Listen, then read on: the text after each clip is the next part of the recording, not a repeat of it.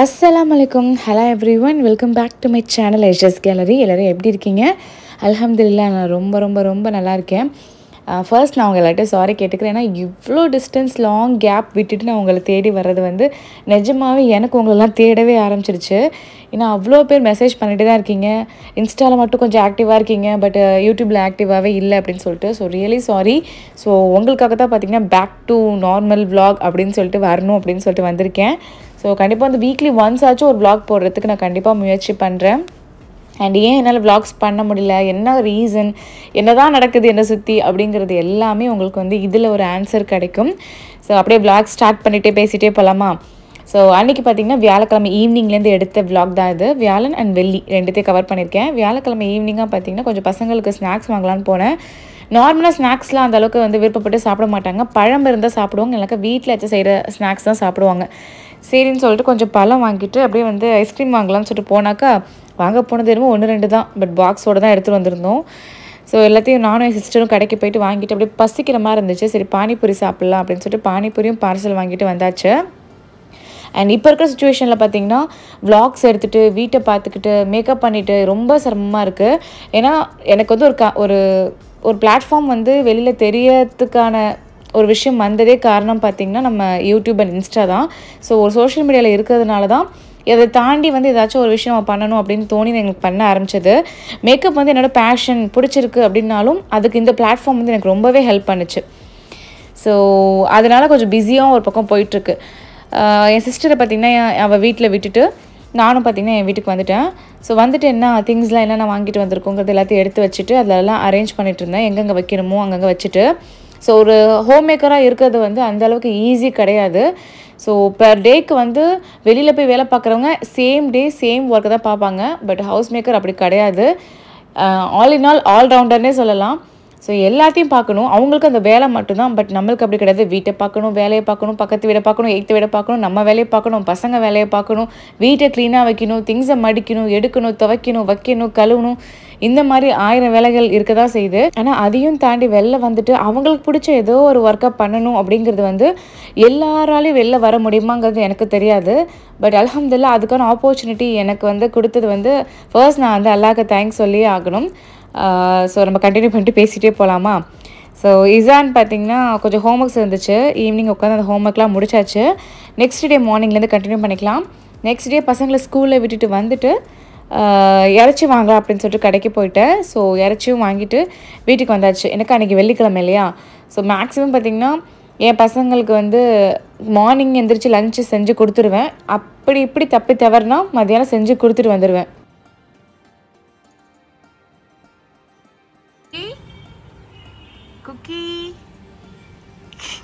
கீழே இருங்கடா ஐ இப்படி உட்காந்துட்டு நீ போஸ் கொடுக்குற? பயம் இல்லை உனக்கு? ஐ கீழே வாயேன் கீழே வாடா. சப்பப்பாப்பா. பத்திரமா இறங்குடா. நான் வரவா? குக்கி நான் வரவா? அம்மா வரவா? இருடா நான் வரடா இருடா இருடா இரு இரு இரு நான் வரேன். இறங்குங்க இறங்குங்க. குதி. என்ன என்ன சேட்டை? ஆ? குக்கி என்ன சேட்டை பண்ற தெரியுமா நீ?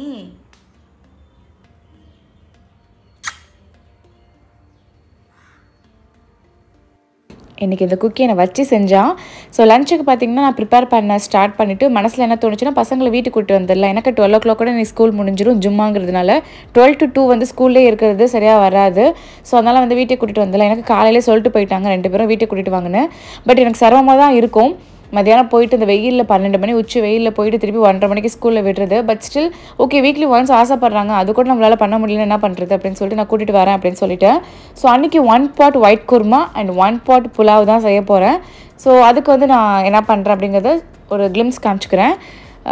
காலையில் பார்த்தீங்கன்னா அவசரமாக பால் காய்ச்சும் போது பால் பொங்க விட்டுட்டேன். அதனால் அதெல்லாம் கொஞ்சம் க்ளீன் பண்ணிவிட்டு வேர்க்கை ஸ்டார்ட் பண்ணிடலாம். ஒன் பாட்டாக இருக்கிறதுனால பார்த்திங்கன்னா நம்மளுக்கு ஈஸியாகவும் ஒர்க் முடிஞ்சிடும் நல்லா டேஸ்ட்டாகவும் இருக்கும். பசங்களுக்கும் இது ரொம்ப பிடிக்கும். ரொம்ப வந்து ஸ்பைஸியாக இல்லாமல் நல்லாயிருக்கும் அதனால். ஸோ அதுக்கு வந்து ஜஸ்ட் நான் வந்து மட்டன் ஃபுல்லாக க்ளீன் பண்ணி வச்சுட்டேன். ஆனியன் பார்த்தீங்கன்னா ஒரு நாலு சின்ன ஆனியனாக இருந்தாக்கா ஒரு ஃபைவ் டு சிக்ஸ் எடுத்துக்கலாம். ஒரு நார்மல் சைஸ்னால் வந்து உங்களுக்கு த்ரீ டு ஃபோரே இனஃப் தான். ஸோ ஆனியன்ஸ் பார்த்திங்கன்னா ஒரு மிக்ஸி ஜாரில் போட்டு நல்லா கிரைண்ட் பண்ணி நம்ம எடுத்து வச்சுக்கலாம்.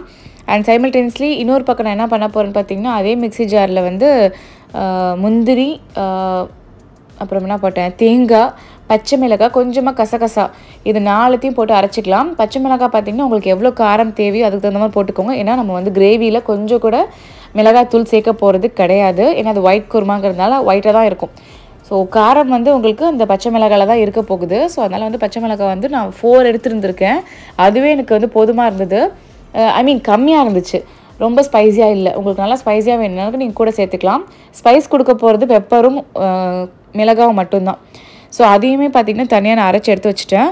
ஜஸ்ட் ஒரு ப்ரெஷர் குக்கர் எடுத்திருக்கேன். ஆயில் ஆட் பண்ணியிருக்கேன் நல்லா தாராளமாக நெய் போட்டுக்கோங்க. பட்டை ஏலக்காய் சாரி பட்டை கிராம்பு பே லீஃப் இருக்கு இல்லையா? பிரிஞ்சி இலை. அது மூணு தான் அதில் சேர்த்துருக்கேன். ஏலக்காய் சேர்க்க வேணாம். ஸோ அது நல்லா பொரிஞ்சதுக்கப்புறமா நம்ம அரைச்சி வச்சுருக்க ஆனியன் பேஸ்ட் இருக்கு இல்லையா? ஆனியன் பியூரி அதை சேர்த்துக்கலாம். மேக்ஸிமம் என் பசங்களுக்கு நான் என்ன செஞ்சாலும் சரி பியூரியாக ஆட் பண்ணிக்கிறது.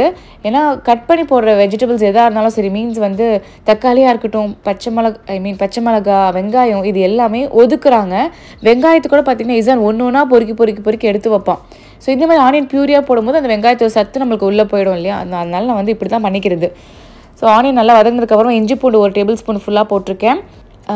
ஒரு டேபிள் ஸ்பூன் அளவுக்கு கரம் மசாலா ஒரு டேபிள் ஸ்பூன் அளவுக்கு மல்லித்தூள் கொஞ்சமாக வந்து ஜீரகத்தூள் கொஞ்சமாக பெருஞ்சீரகத்தூள் அப்புறம் காரத்துக்கு தகுந்த மாதிரி பெப்பர் பவுடர் போட்டிருக்கேன். அவ்வளோதான் சிக்கன் ஸ்டாக் இருந்தால் சிக்கன் ஸ்டாக் போட்டுக்கோங்க. மேகியில் க்யூப் இருக்கும் இல்லையா?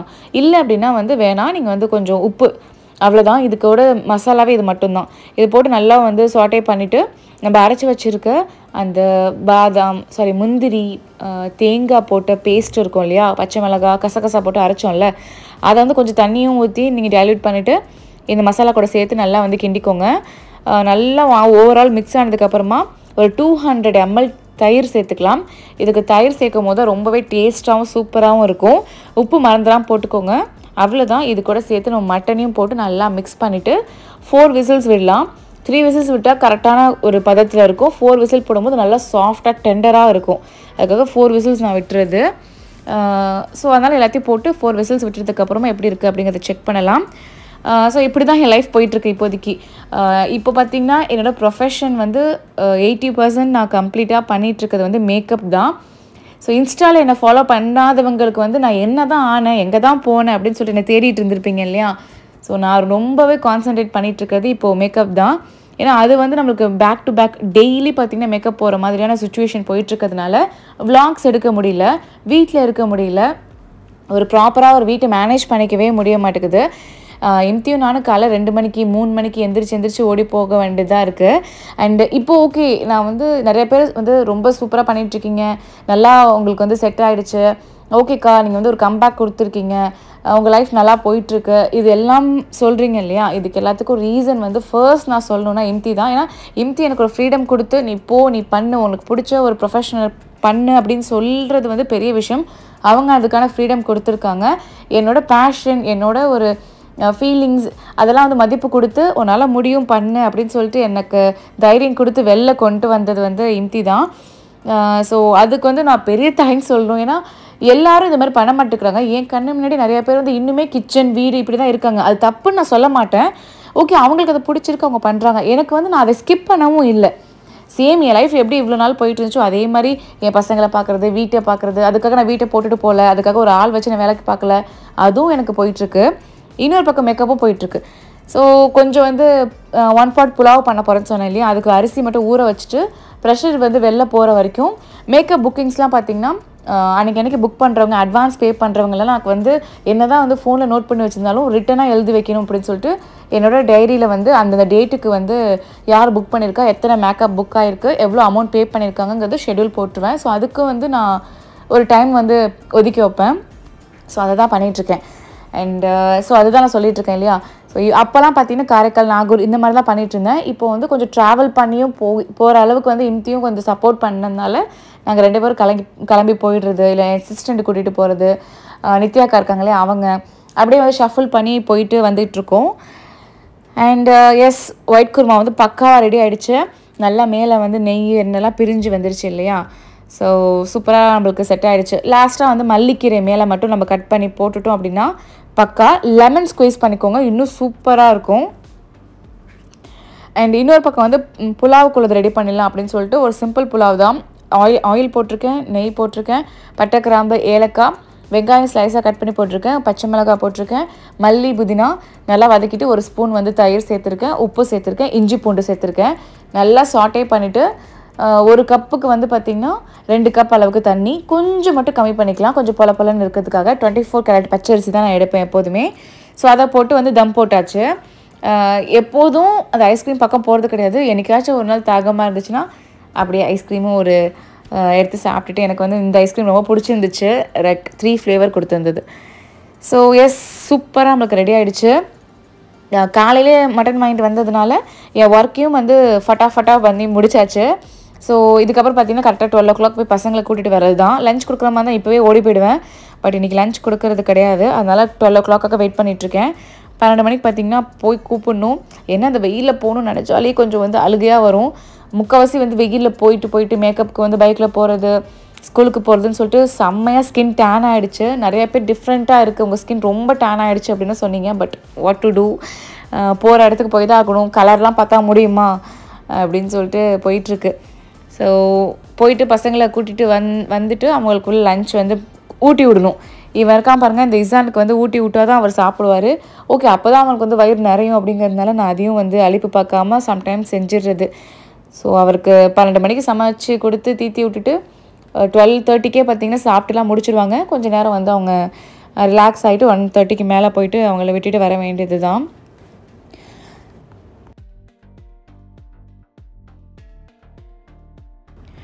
ஃப்ளிப்கார்ட்டில் கொஞ்சம் க்ராசரிஸ் ஆர்டர் பண்ணியிருந்தேன். ஸோ அதை வந்து அவங்க டெலிவரி பண்ணுறதுக்காக வந்திருந்தாங்க. ஸோ க்ராசரிஸ் ஆர்டர் பண்ணும்போது இந்த குக்கிக்குள்ளே சாப்பாடு ஆர்டர் பண்ணிட்டு அது மாதிரி சீனி ஆட்டை மாவு அதெல்லாம் காலியாக இருந்துச்சு. ஸோ பசங்களுக்கு வந்து மார்னிங்க்கு பிரேக்ஃபாஸ்ட்காக சாக்கோஸ் ஆர்டர் பண்ணியிருந்தேன். அப்புறம் கடலை மாவு அப்புறம் கொஞ்சம் காஃபி பவுடர் பேஸ்ட் இதெல்லாம் ஆர்டர் பண்ணியாச்சு. ஸோ அவங்க கொடுத்துட்டு போயிட்டாங்க. மத்தியானம் ஒரு டூ டு த்ரீ கொஞ்சம் ஃப்ரீயாக இருக்கிற மாதிரி இருக்கும். ஸோ அந்த டைமில் கொஞ்சம் ரிலாக்ஸ்டாக உட்காந்துருக்கிறது இல்லை அந்த டைமில் ஏதாச்சும் வேலை இருக்குது மேக்கப் திங்ஸ் எல்லாத்தையும் எடுத்து வைக்கணும் அப்படின்னா இருந்தாக்கா அதை பண்ணிகிட்ருப்பேன் ஸோ நிறையா பேர் கேட்டிங்க நீங்கள் வந்து மேக்கப் போகும் பசங்க என்ன பண்ணுறாங்கன்னு நிஜமாவே இம்திக்கு அடுத்தபடியாக வந்து எனக்கு சப்போர்ட் பண்ணுறது என் ஃபேமிலி தான். ஸோ அவங்க இல்லைன்னா கண்டிப்பாக வந்து மேக்கப்க்கு என்னால் போக முடியாது. மார்னிங் நான் த்ரீ ஓ கிளாக் எந்திரிச்சு போகணும் டூ ஓ கிளாக் எந்திரிச்சு போகணுங்கிற சமயத்தில் பார்த்திங்கன்னா என் ஃபேமிலியில் உள்ளவங்க பார்த்துக்கிறது தான் எனக்கு வந்து ரொம்ப பெரிய வந்து ஒரு யூஸ்ஃபுல்லாக இருக்குது ஏன்னா இசான் அஃபிஃபா வந்து எங்கள் அம்மாவை தவிர்த்து வேறு யாராலையும் பார்த்துக்க முடியாது. அவங்க இருக்கிறதுனால தான் வந்து என்னால் மேக்கப்க்கே போக முடியும். என்ன தான் இம்தி எனக்கு சப்போர்ட் பண்ணி என்னை போகணும்னு சொன்னாலும் ரெண்டு பசங்களை என்னை வச்சுக்கிட்டு அந்த மூணு மணிக்கு என் பசங்களை கூட்டிகிட்டு போக முடியாது. இல்லை அப்படியே கூட்டிகிட்டு போகிற மாதிரி இருந்தாலும் ஸ்கூல் இருந்துச்சுனாக்கா என்னால் அதுவுமே அனுப்ப முடியாது. ஸோ என் ரெண்டு பசங்களையும் ஸ்கூலுக்கு அனுப்புறது அவங்களுக்கு லஞ்ச் செஞ்சு கொடுக்குறது திரும்ப கூப்பிட்டு வச்சுக்கிறது. ஸோ என் அப்பா போய் விடுறது கூப்பிட்றது எங்கள் அம்மா போய் அவங்கள வச்சுக்கிறது அவங்களுக்கு சாப்பாடு கொடுக்குறது காலை மார்னிங் ஸ்கூலுக்கு கிளப்பி விடுறது. இது எல்லாமே அவங்க பண்ணுறதுனால தான் என்னாலையும் வெளில போயிட்டு மேக்கப்புக்குன்னு ஒரு ஏர்ன் பண்ண முடியுது. என்னால் பார்க்க முடியுது. கண்டிப்பாக என் இம்தி என் ஃபேமிலி இல்லைன்னா நான் இல்லை. இந் இப்போ இருக்கிற சுச்சுவேஷனில் கண்டிப்பாக அவங்க எல்லாரும் எனக்கு கொடுக்குற ஒரு பூஸ்டப்பாக இருக்கட்டும். நீ பண்ணுவ சூப்பராக பண்ணு. இங்கே மட்டும் பண்ணாத வெளியிலே போய் பண்ணு அப்படின்னு என்னை என்கரேஜ் பண்ணி அனுப்புறது வந்து இவங்க தான். அண்ட் வந்து ஒரு ட்ரைபாட் வாங்க வேண்டியது இருந்துச்சு. லைட்டு எனக்கு தேவைப்பட்டுச்சு மேக்கப்புக்கு ஸோ என்ன தான் ஏர்ன் பண்ணாலும் அது திரும்பி வந்து நம்ம மேக்கப்புக்கு தான் போடுற மாதிரி இருக்கும். ஸோ ஃபர்ஸ்ட் டைம் அப்படி தான் பண்ணி ஆகணும் இல்லையா? ஸோ நம்ம இன்வெஸ்ட்மெண்ட்டும் பண்ணி தான் ஆகணும். அண்ட் இந்த மேக்கப்புக்கு நான் இவ்வளோ ஏர்ன் பண்ணுறேன் அப்படின்னா அதுக்கு இன்வெஸ்ட்மெண்ட் பேசிக்காக போட்டது இம்தி தான். ஸோ அது நான் ஒரு ஒன் லேக் கிட்ட அதுக்கு நான் இன் என்ன சொல்கிறது எஃபோர்ட் போட்டிருக்கேன்னா அந்த அந்த அமௌண்ட் அப்படியே இம்தி கொடுத்தது தான். ஸோ அந்த போட்டு முதல் போட்டதுனால தான் இப்போ நான் வந்து அதை ரிட்டன் வந்து மேக்கப் பண்ணி நான் எடுத்துகிட்ருக்கேன் ஸோ அதுக்கு இம்திக்கும் எனக்கு பெரிய தேங்க்ஸ் நான் சொல்லணும். அவங்க அந்த காசு கொடுத்து நீ பண்ணு. ப்ராடக்ட்லாம் வாங்கிக்கோ. உனக்கு என்னென்ன தேவையோ அதெல்லாம் வாங்கிக்கிறோம். அவங்க காசை கொடுக்கல அப்படின்னா என்னால் கண்டிப்பாக அதை வாங்கி பண்ணவும் முடியாது. ஃபைனலி என் ஃபேமிலி சப்போர்ட் இல்லைனா எங்கள் அம்மாவோட ஹெல்ப் இல்லை அப்படின்னாலும் கண்டிப்பாக ரொம்ப கஷ்டமாக போயிருக்கும். இல்லைம்மா என்னால் பார்த்துக்க முடியல. என்னால் சமாளிக்க முடியாது. நீ மேக்கப் மேக்கப் போயிடுற நான் எப்படி உன் பிள்ளைய பார்த்துக்கிறது அப்படின்னு ஒரு வார்த்தை சொல்லியிருந்தா கண்டிப்பாக வந்து அதையுமே என்னால் பண்ணியிருக்கவே முடியாது.